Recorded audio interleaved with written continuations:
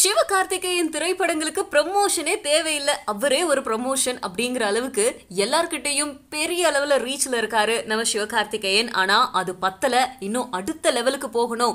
Top heroes லிஸ்ட்ல இடம் பெறணும் அப்படிங்கிறதுக்காகவே ரெமோ படத்துல நடிச்சிட்டு இருக்காரு ஏன்னா இந்த படத்தோட டீமும் சரி படத்துல ஒர்க் பண்ற டெக்னீஷியன்ஸும் சரி இது வரைக்கும் சிவகார்த்திகேயன் நடிச்ச படங்களோட பட்ஜெட்டை கம்பேர் பண்ணும்போதும் சரி ரெமோ திரைப்படம் எல்லாத்துலயுமே அதிகமாவே இருக்கு.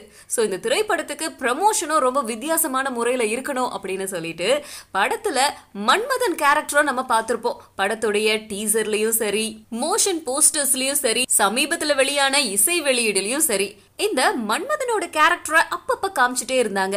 என்னடா இது அப்படின்னு லைட்டா டவுட் வந்துச்சு. இப்போ அது ரொம்ப ஸ்ட்ராங்கா இருக்கு. ஏன்னா படத்தோட ப்ரொமோஷனுக்கு ஆயிரக்கணக்கில் இந்த மன்மதன் சிலைகளை செஞ்சு பப்ளிக் பிளேஸான ரயில்வே ஸ்டேஷன் பீச் அப்படின்னு ஏகப்பட்ட இடத்துல வைக்க போறாங்களாம். சோ இதெல்லாம் வச்சு பார்க்கும்போது இந்த மன்மதன் கேரக்டருக்கு படத்துல நிறைய வேலை இருக்குன்னு தோணுது. பட வேலைகள் எல்லாமே முடிஞ்சிருச்சு. அக்டோபர் செவன்த்து கன்ஃபார்மாக படம் வெளிவரும் அப்படின்னு படக்குழுவினர் நம்ம எல்லாருக்கும் ப்ராமிஸ் பண்ணியிருக்காங்க ஸோ படம் எப்போ வர போகுது அப்படிங்கிற எதிர்பார்ப்பு எப்பயிலிருந்தோ அதுவும் வந்து நம்ம சிவகார்த்திகேயனை அந்த பெண் வேடத்தில் காட்டுனதுலேருந்து இருக்குது ஸோ செவன்த் வரைக்கும் வெயிட் பண்ணுவோம்.